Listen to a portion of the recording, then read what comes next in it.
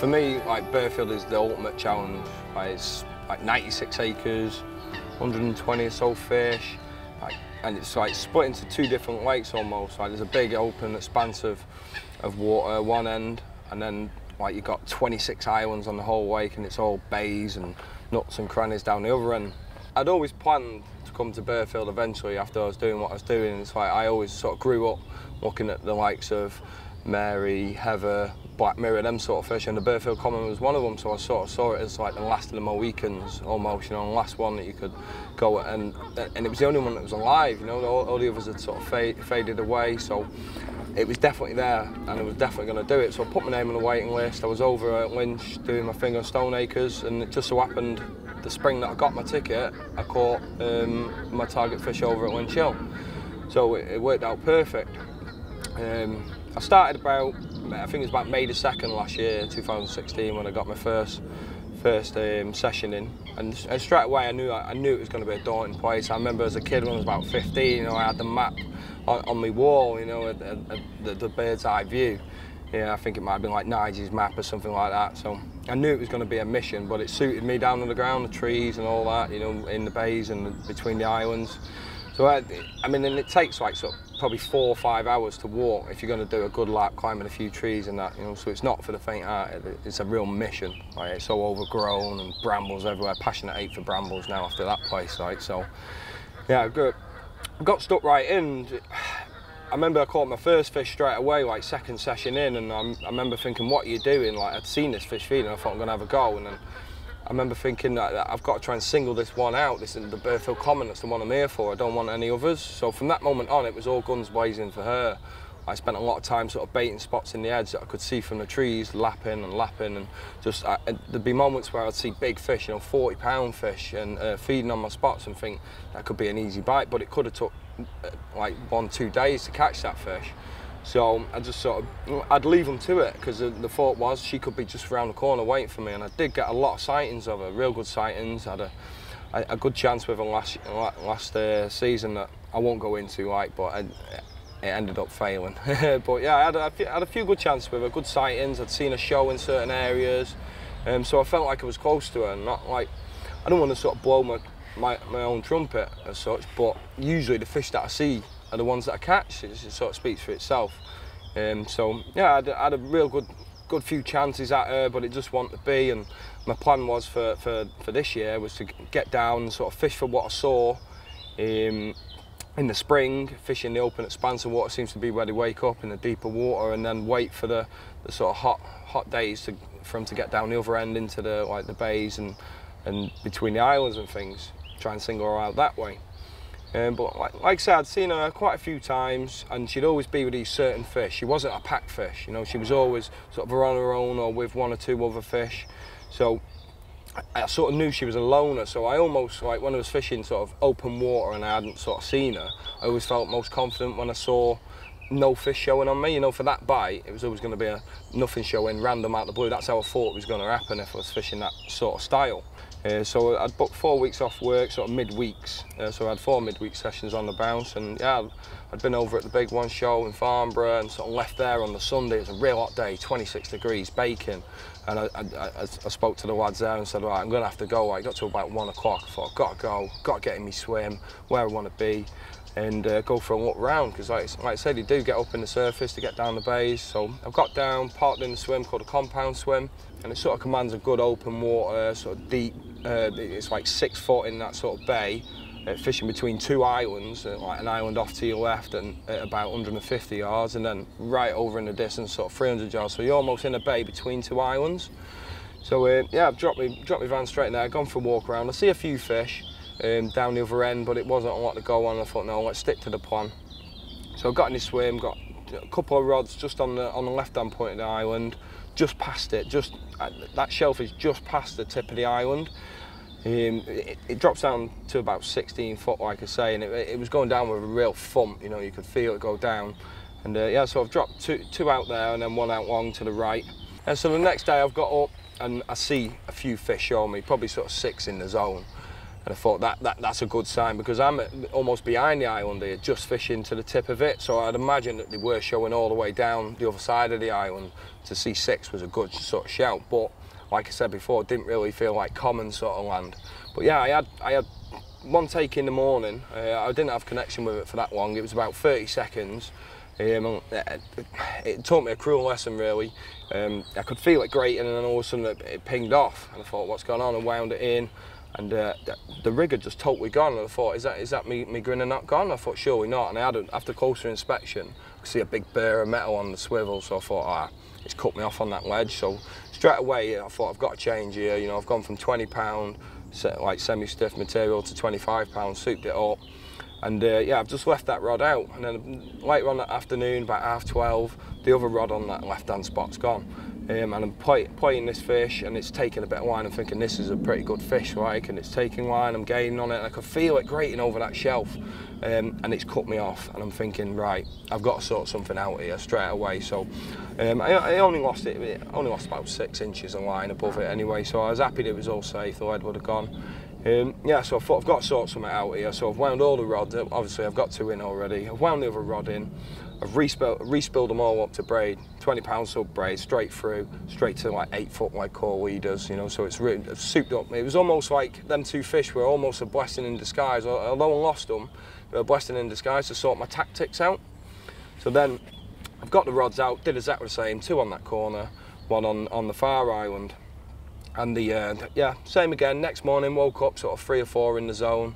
And uh, yeah, I just felt like it was going to happen. And uh, yeah, behold, about half eight in the morning, I've had a take, and straight away I knew that I was in good connection with it. That shelf weren't going to cause me a problem. And what I did is I devised a plan that I was going to pick up the rod, and there's like a scaffold at the side of the swim, a little bit of scaffolding that you can sort of run down, get the rod real high, 13 footers, and you can combat that ledge.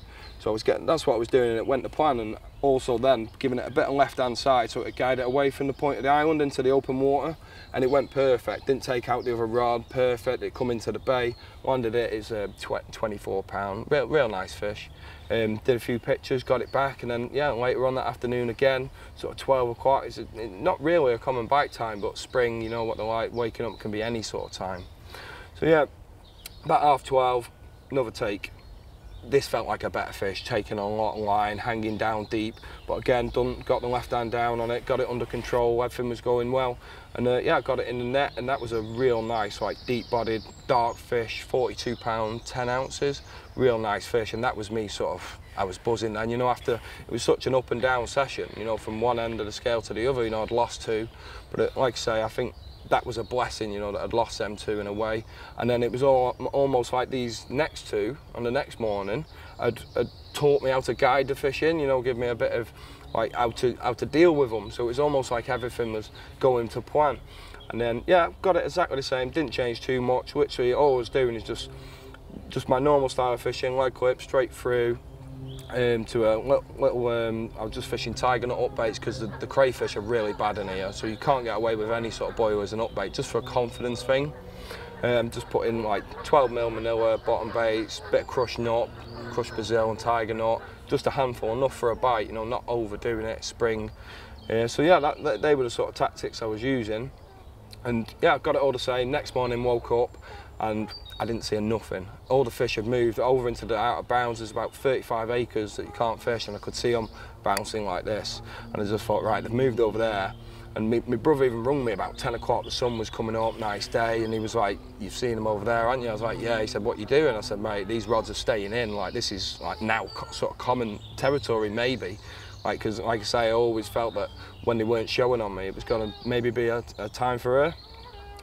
So yeah, and, and that was the other thing as well. It's like because it was warm, Burghfield, you know, they do get in them bays and that. So a lot of people could have easily been tempted. Had I not learned that it was a sort of a loner fish last year, a lot of fish could have been tempted into. Uh, a lot of people could have been tempted into going down the other end and having a look for them. But no, I knew. Like, and it's worth mentioning about the moon phase as well. It was a full moon. Um, the night before, and the exchange was going to be 107 in the afternoon, so I knew that. And it, it, I mean, some people believe in it, some people don't, but there's, there's just too much in coincidence the, in, in the carp industry. Uh, but yeah, anyway, back to the uh, back to the fishing. Like I say, I see no no no shows, and I was sat there, dug meals, and I was just thinking, yeah. And it was about half twelve. I remember I rung my mum. I was on the phone to my mum, and um, the left hand rod's gone. It's away. Like I picked up into it. I could tell it was a smaller fish straight away. Bit of tap tap tap, and dealt with it. And luckily it didn't take the other rod out because braid side by side, sort of. When I say side by side, sort of 12, 16 foot apart, but it can be quite savage, you know. So I guided it, got it around the other rod, perfect, and it came in. And uh, yeah, I put the net under it. As soon as I put the net under it and looked, and I just thought, that is her mate. Like, like I say, I see her a few times last year. I used to call it pointy face, but I know why now, because it's got a real twisted mouth, just a deformity. It's not mouth damage, it's just a deformity. And I looked at it and I, I turned it on its side and it's like real weary, you know, all battered scales and like real old character fish. And it's and then one of the originals, you know. And I, I just thought, that's her mate. Like, um, almost panic stations like where's the retainer you know just wanted to get her in the retainer quick get the net set back up um, and literally yeah done that jumped back in, into the bed like I'm literally fishing right on my rods like because obviously fishing just past this point of the island you got to be on them yeah the um, I literally press call to my mum, put it on speaker, and as it's ringing, that rod's gone, the next one that's on the spot, and it's absolutely just smashed into the alarm, and I've just picked it up, and I've had to give it line. I was fishing locked up, but I had to give it line. Um, it'd have been a hook pull if not.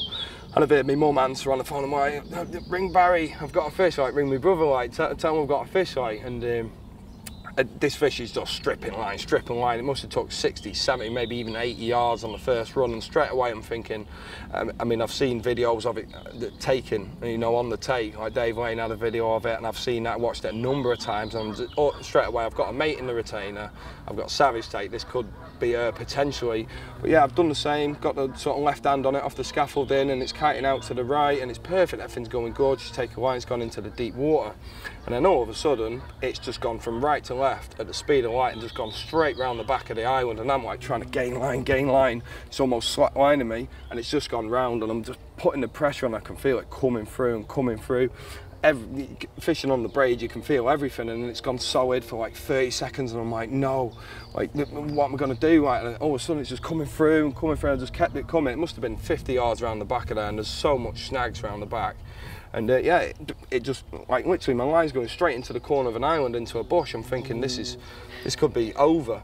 And I've just kept pulling it and pulling it and it's just come. And as it's sort of come up that 16 foot shelf and hit the shallow water, obviously she knew she was near, near on beat into the, the water that I wanted her she's just gone lipping, zipping, sorry, from left to right at the speed and like literally I was winding and winding. It's almost like it had come off, but I could see the line cutting through the water like cheese wire, like, and it's going for the, the jetty down the right hand side. It's it's uh, mounted on scaffold, so I knew where she was going. I've just gained and gained and gained like that, and just when it's probably got about two rod lengths off, I've just give it full left hand down, like so cringy. Like you'd think this is going to uppull, but it was that or nothing, all or nothing. I had to do it, and her tail's coming out. At this point, I don't know it's her, but I've got a good idea it could be. And she's proper going for it. But once she knew she couldn't get there, it's just done the same again from right to left, and I'm swap lining, swap lining, and she come across the front of me, tuck line, and gone round the dot island on my left. And it's round through the like gone through two dot islands, and I can see through the bushes, and it's just rolling on the surface. And as I've, as I've pulled her back round, there's real shallow ground there, and it's come over a hump and as she did that, I see her head and shoulder come out, and I just knew it was her. Like from, I've seen her so many times in the water, and the width of her, and that little head. Like I just see it come out, and that that was sort of panic stations. And like I knew that I was in co contact with it. Um, so I'm, I'm playing it. It was going on real savage runs. Um, one of my mates come in the back of the swim, Neil, he walked in, he said, oh, you, you got one, have you? I said, mate, it's 100% her. I've got the net, just be quiet, like, and give him his due. We just sat there in silence, and I had a, probably another sort of 10 minutes with it after I knew it was it.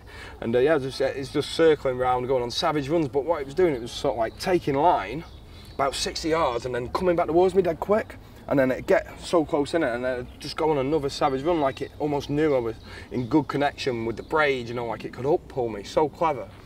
Um, but yeah, and eventually it just went in in the net, only just like the length of the thing. Just got it in, sort of scooped it in, and that's it. I just, I just went mental. Like just looked at her, and she was big. Like, I've got nothing else to compare her to, but she was massive. Like flipped on her side, and me and Neil were just going sort of mental. Run me brother, he was like right down the bottom of the dog leg the other side, and he run. By the time he got round here, he was rosy red and sweating like. Um, but yeah, so she's in the net, and I just made obviously a few phone calls and that.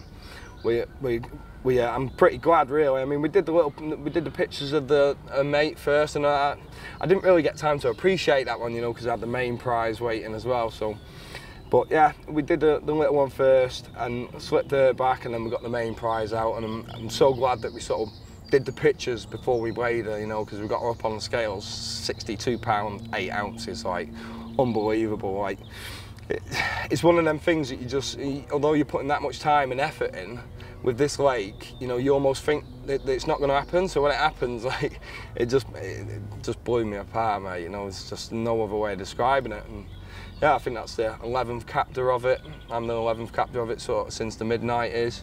Um, so it's nice to be sort of part of the smallest club in carp fishing, you know.